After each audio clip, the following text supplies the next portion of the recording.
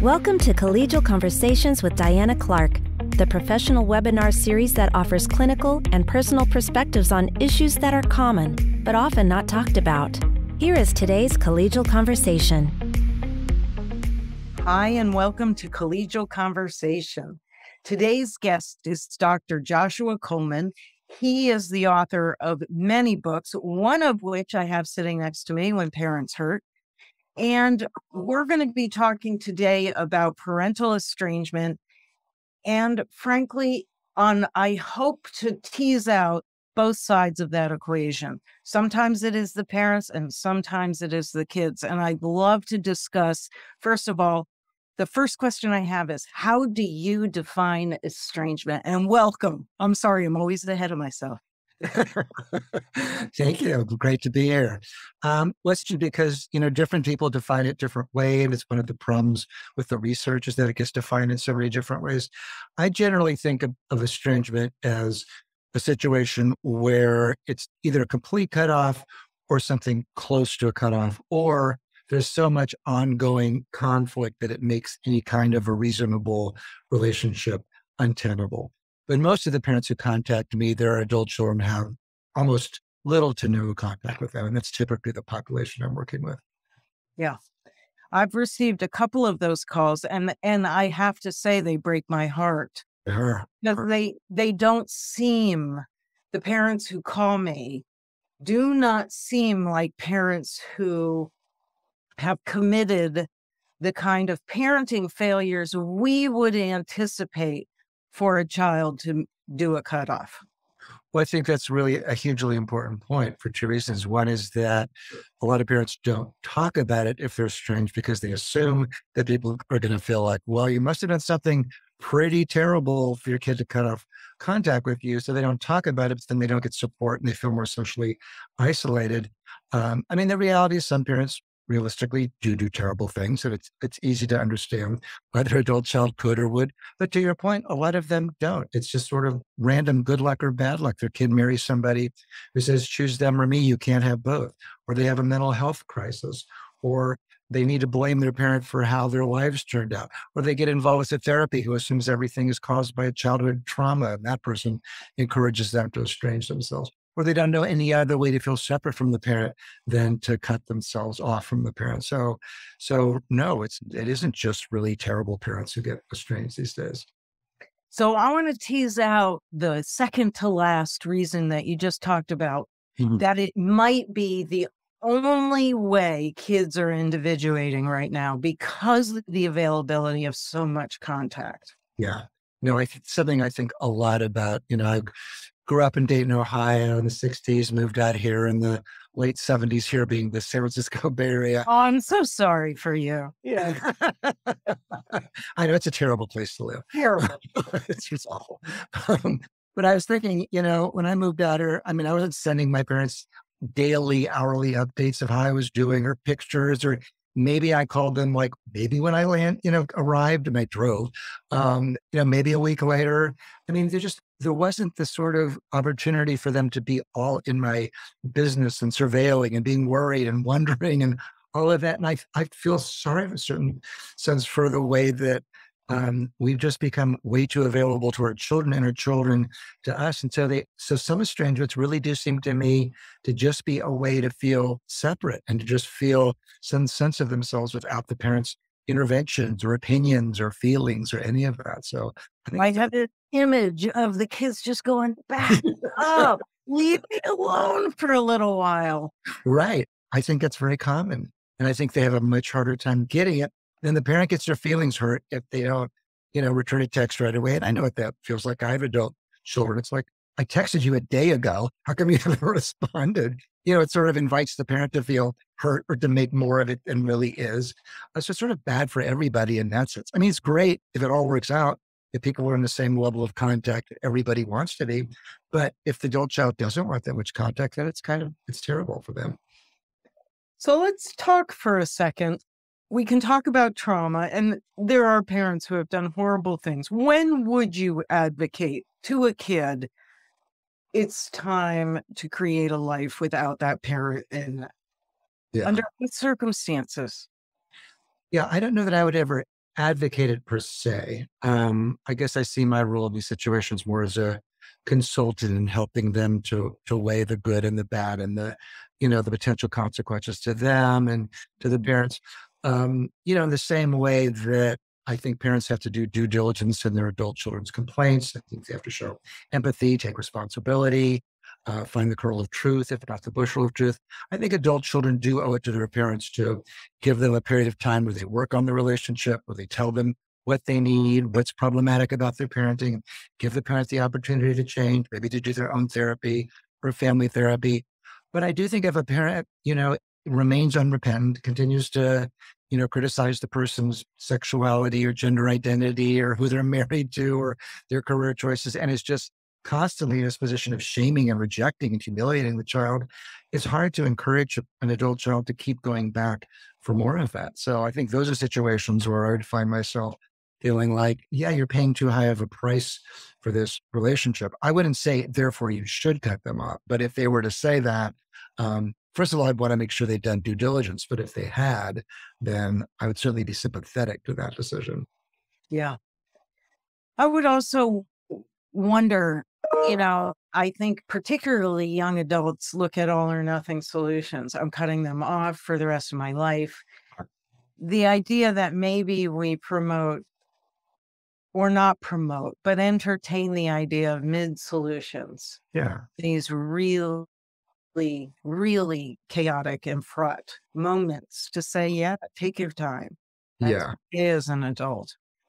I like the concept of mid solutions. I haven't heard of that, but that seems that seems like a creative way to think about it. You don't have to commit to this for the rest of your life. Give it six months or a year. I sometimes tell parents who are keep trying and trying and getting nothing back, take a year break. Give your kids the space to do it. I mean, that's sort of an example. You're not, you don't have to say you're never going to try with your kid again, but yeah, mid solution. I think it's a really creative way to to think about these things.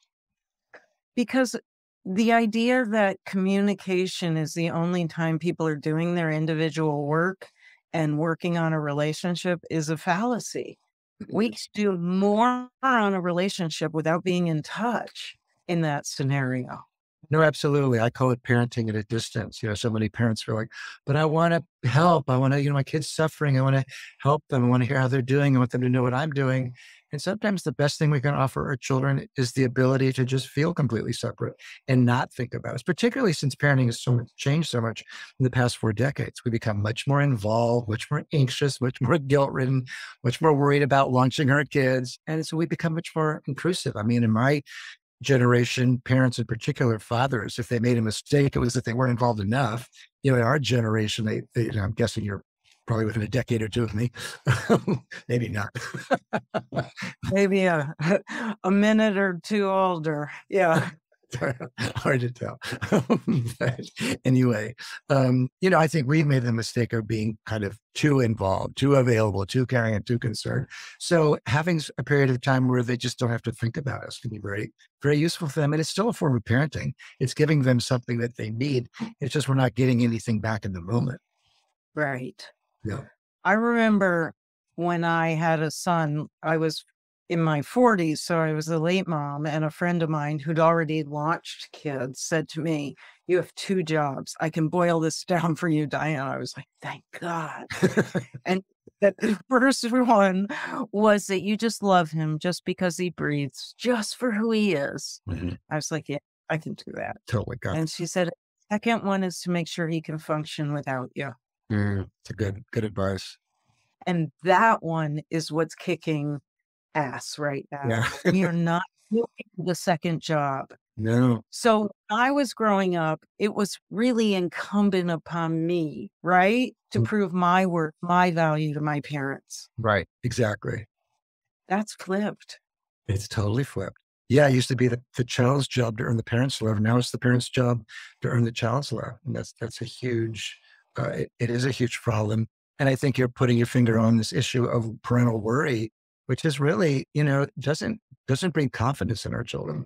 It kind of puts them, makes them worried. If we're constantly worrying about their future and their capacities and their ADD or their learning disabilities or their depression or their anxiety, we're inviting them to be worried about it too. Whereas you know, in my parents' generation, I mean, I, I'm blessed. I had really nice, loving parents, but they just weren't all in my business in that way, in the way that, you know, I was with my kids. And I think our generation has been everyone since then. And they would have been a hot mess if they knew what I was up to. They really would have. They didn't need to know. You know, there were times when I was probably making really foolish, life threatening decisions. And if I had a phone to be able to say, Mom, I'm hitchhiking between Denver and Boulder, that would have created a different parenting relationship with me. Yeah. No, I think it's really, really true. Um, my father, who served in the Navy, is he was like debrief people who came off the battlefield. So he he was very interested in psychology. So we we used to talk a lot about it. And I used to have a fear when I was little of being lost. And so as I got to be a little bit older, he did this kind of exposure program with me long before there was exposure. We'd go to a you know big hockey game and he'd say, Okay, I want you to go get the popcorn. You know, I want you to pay attention to where we are. You have to go through this crowded stadium and go get the popcorn and then come back. And and then all, later when I was a teenager, I wanted to hitchhike to, wow. to to Manhattan to see my girlfriend. I was 17 and he supported it. And, you know, I mean, I would have never supported that with my kids. I would probably been very worried if my kids had wanted to get popcorn by themselves when they were nine or whatever. So, uh, you know, I just think there was a separation of uh, generations that was very useful to us back then that that has really gotten kind of uh, merged in ways that's not good for anybody. So, do you think the shift happened in part because we did want more from our parents, though? I think that's certainly part of it. I think we've all been in therapy. We've all been, you know, reviewing the mistakes our parents made. We've had these ideas of, oh, if we had gotten this, we wouldn't have that. I think that's part of it. I think that the economy has made parents feel like um, they have to work super hard. There's good research in economics that shows that in high social inequality countries like the US and China and the UK, parents work much harder because they can't they can't really trust that once their kids are adult, they're going to be able to launch an adulthood. Whereas in low, low social inequality countries like Sweden or Japan or the Scandinavian countries or Germany, they know that, you know, even if they don't graduate with a good degree, there's be a good paying union job, have health care, you know, education is free or inexpensive. Whereas in the US, everything is on the parents. So it makes parents these hot messes because we're also anxious about getting our kids into some kind of formal, stable adulthood. It's very problematic. Yeah. So back to estrangement, that can lead, I can see where that leads to estrangement. Yeah. What are sort of the rules or the guidelines if you are estranged from a child or or a parent? I think the first thing is to seek to understand. I think it's human nature as a parent to want to defend and to explain and to remind the child of all the good things that you did for them. But that that always backfires. If your kid is estranged, they've drawn a very strong line in the sand where they're saying, no, actually, you really messed up in some significant way. And so it's incumbent on the parent to try to understand. And they do that through showing empathy and interest and not being defensive and repairing and finding the kernel of truth, if not the bushel of truth. I always have parents write a letter of amends where they basically either address what the child has said. Like that. Yeah. not to defend themselves, and not to explain why they did it, just to say, yeah, these are my, these, I could see why that was hurtful to you or problematic or any of those things. Oh, dear. Yes.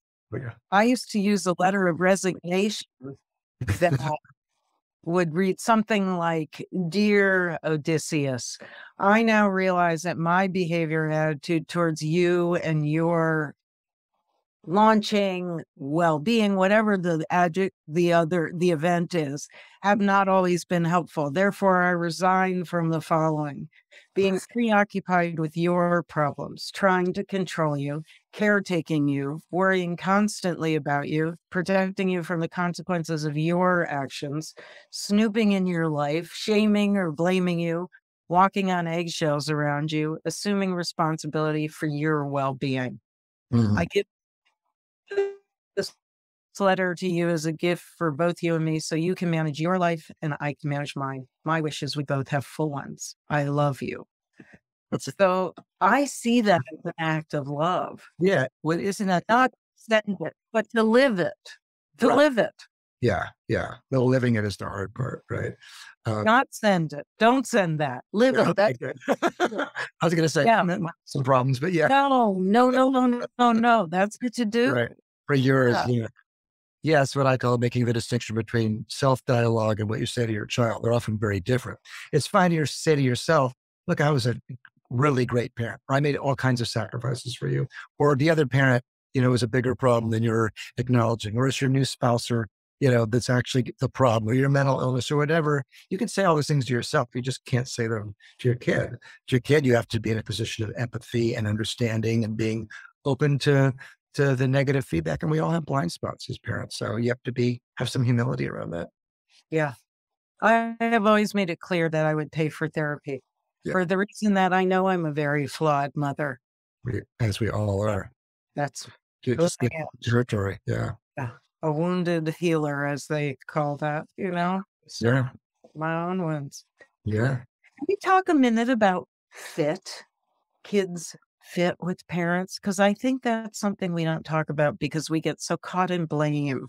Let's yeah. talk about fit a little bit. Yeah, no, I think it's an interesting topic and one that that I probably don't talk about enough. You know, in the same way that sometimes siblings get along better because of a fit, a fit which may be partly genetic, you know, dispositional. Um, but I think I think to your point, that can also happen with parents. That you might have a parent say who's very um, you know, anxious and withdrawn and introverted, and a kid who's very extroverted and aggressive and oppositional, and they just don't understand each other. And so there's this constant dialogue, and I mean, not dialogue, constant tension and, and conflict and feelings of rejection and hurt that can come from that. Um, so I think fit is important. I think it's not unusual uh, for somebody to get married and feel like, well, their in-laws fit better with them. And so they get kind of migrated to that family, which is very hurtful to the biological parents if there's an, uh, an estrangement. So I think the topic of fit can be really um, profound in lots of ways. So fit. I remember hearing that concept with when my son was little, he had a friend who he had been in preschool with and then elementary school with. And then when he was about six or seven, I they had a play date and I said, How was blank? And he said, Well, we don't fit right now. I thought, what a nice way, right? Yeah, it's very insightful way to put it. Just don't fit. Yeah. yeah. Wow, that's impressive. I know. I thought that, but I don't think it was because he was skilled that way. I think he genuinely saw yeah something that way.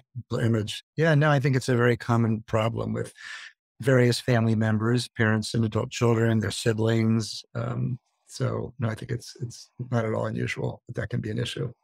Do you think generations ago parents expected to like their children or that children expected to like their parents?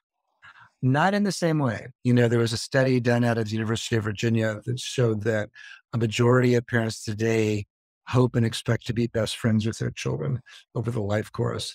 And that's an enormous amount of pressure to put on a child or on yourself, because if you're not having it, then you feel like a failure uh, and you feel rejected by your kid if you're not getting it. So, no, I don't think so. I think the task of parenting has, has really uh, escalated enormously where parents are not only supposed to like become best friends with their kids, they're supposed to create happy children who are sort of resilient and can take on any challenge in life. And it's problematic because then the children look back on their childhoods and say, well, I'm not happy now, so you must have done something really bad. You know, there must have been some way you traumatized me that, you know, if you hadn't done that, then my life would be great. But no, I don't, I don't think that uh, prior generations were so preoccupied with that.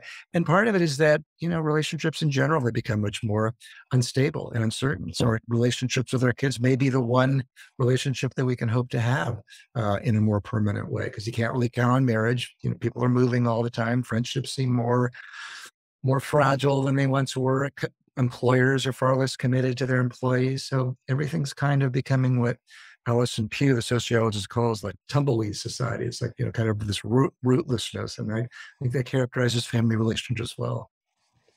And where does wealth come in here? Because I think that, you know, if we're talking about the ability to be a tumbleweed, that requires a certain amount of means. Where does wealth come in? Yeah. I mean, the way I think of it is that there's sort of two poles. Like on the wealthy side, I think there's research to show that wealthier um, um, adult children and parents think of uh, that whatever they they achieve, it's because of their own strengths uh, and traits, and I think that that can make them be more harsh in their judgment of the parent, kind of like, I don't owe you anything. You know, whatever I've achieved in my life, no matter what your sacrifices were, I don't owe you anything. Uh, whereas in the working class and the poor, um, there's there's sort of a way that they've kind of been co-opted by this more um, neoliberal ideology of you know it's all within you to to to solve their problems, and so the families become much more important in that because there's this idea that now they have to liberate themselves from dysfunctional families. Both sides kind of have that therapeutic narrative in mind in ways that I think is really problematic and sort of for, for different, they arrive there in different ways, but they sort of end up saying many of the same kinds of things. So you mentioned something about happy it is one of my soapboxes, I have to say. When my son was little and he came over and he said, I'm not happy and you don't care. And I, I know. Just the feeling. It comes and goes. Go play outside. And I like that. right. Well, this quest for happy actually is, I think, making all of us a bit unstable. I don't think those are terms of life. They're not, and it's it's sort of the wrong compass to to live your life by. And uh, the historian Peter Stearns who talks about, you know, when when when the idea that children were bored became the parents' problem and not the child's problem, that was a that was a problem. I mean, like you, I mean, if I were young and I would a child, I'd tell my mother I was bored. She'd go, "Well, you can either help me like clean the house, or you can go outside and play." but you did not say that unless you wanted a chore. Right, exactly. Right. So, but in our generation, at least, you know, mine and I think practically, I think you were, I like your response probably better than mine might have been, which might have been to sort of see it as some problem that required parental intervention. Um, yeah, no, I think that, that the, the orientation towards happiness is really problematic because it also minimizes the importance of other things like duty and responsibility and loyalty and obligation, and all these things that the field of psychology. Purpose. And purpose. Right, right, which requires sacrifice and working through difficult feelings. And yeah, no, I think happiness is a very problematic concept. I mean, you know, nice work if you can get it, but you're just not going to be able to to get it a lot of the time. So where are you how are you thinking about your life when you're not? And what's the easiest way to get to happy? Spending, substance use, sex, all of the compulsive behaviors yeah. that elevate dopamine, but they don't create a meaningful life. No, they don't. No, it's it's it's relationships. It's your ability to be close to people and have meaningful engagement with people or meaningful work. And, you know, Freud said it's work, work and love. And he wasn't far off of that. But Freud wasn't very oriented towards happiness either. Freud didn't, he said something like, it's not, you know, the mission of humanity to make themselves happy or something like that. But he was basically, oh. he knew that happiness was sort of the wrong, you know, compass to guide your life. But right. Absolutely. Well, if you had one single piece of advice to parents out there or kids out there that were struggling in their relationship that that considered themselves estranged, what would that advice be? I mean, for the parent, it's you know, it's just try to show compassion and empathy and take responsibility and try to find the kernel of truth in the child's complaints. For the adult child, um, it's to try to um, know that your parent did the best they could, even if the best that they could was really problematic, that whatever mistakes they made with you, it wasn't because they actually wanted you to suffer. And from that perspective, they deserve some degree of, of empathy or the opportunity to work on the relationship or salvage the relationship. Um, to kind of do a, a, due diligence on both sides would really be my, my best advice. I can. Well, thank you, Dr. Coleman. I appreciate you today. Yeah, it was fun. Let's do it again. Absolutely. Okay, good. Thank you for joining this webinar. Tune in to more webinars and sign up for our newsletter at o'connorpg.com.